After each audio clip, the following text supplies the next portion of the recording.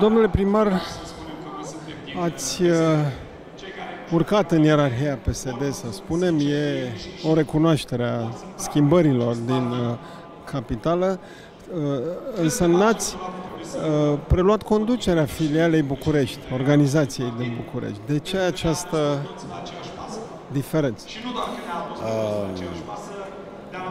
Așa cum uh, ați văzut, uh, chiar președintele Ciolacu a spus un lucru extrem de important pentru uh, o societate sănătoasă. Uh, nu este corect și nu este normal uh, să, să avem toate funcțiile.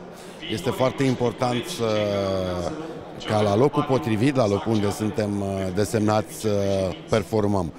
De aceea, uh, în această poziție, um, este determinant pentru noi să ne ocupăm de ceea ce înseamnă viziunea pentru ceea ce înseamnă administrația locală în general în România, pentru a crește gradul de performanță al administrațiilor locale.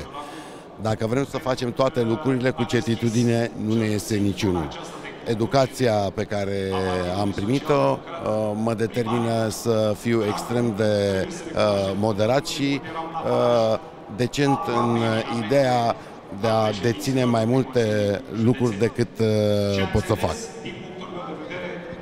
Analiștii spun că București e de dreapta, că iată cine ia primăria capitală are șanse la președinție. Cum îi contraziceți? Pot să contrazic lucrurile acestea dintr-un lucru foarte simplu. Bucureștenii, ca și românii în general, au nevoie de rezultate. Uh, experiența ultimilor ani uh, a accentuat această problemă uh, majoră, pentru că lipsa rezultatelor în general nu doar în administrația locală, în administrația centrală a determinat într-o permanență o căutare a românilor.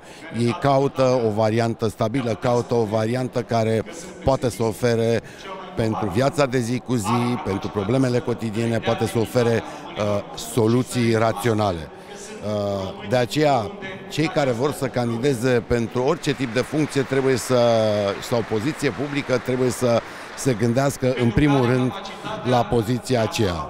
În calitate de primar al sectorului 4, de exemplu, cea mai importantă preocupare pe care o am este aceea de a rezolva problema planșeului de la Piața Unirii, care va afecta viața bucureștenilor. Asta este problema numărul 1. A doua problemă este magistrala M4 de metrou, pentru că Gara de Nord, Gara Progresul înseamnă un progres uluitor pentru oraș. Este momentul ca fiecare dintre noi, fiecare dintre primari, indiferent de coloratura politică, să facă tot ceea ce poate pentru oraș. Da, uh, vor, uh, ați deschis discuția. Încep de pe 25 septembrie încep lucrări masive în capitală, vor fi probleme mari de trafic. Vor fi probleme de trafic, uh, într-adevăr, însă nu anul acesta, pentru că Primele, prima treime din lucrare se derulează într-o zonă care nu afectează traficul, plus uh, demontarea uh, fântânilor, nu toate, bineînțeles, cele care sunt uh, implicate în uh, proiect, uh, lucruri care nu afectează circulația.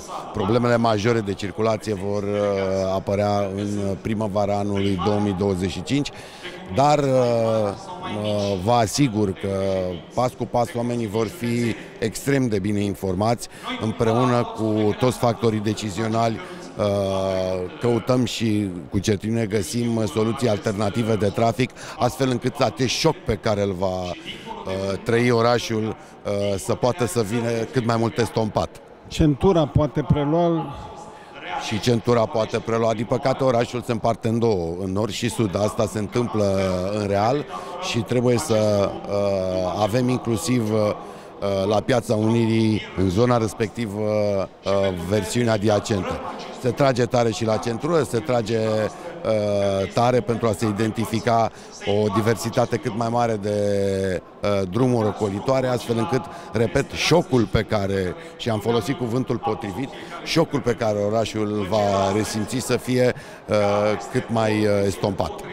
E momentul pentru un președinte de stânga după 20 de ani. Uh, va vota Bucureștiul majoritar cu președintele de stânga în acesta?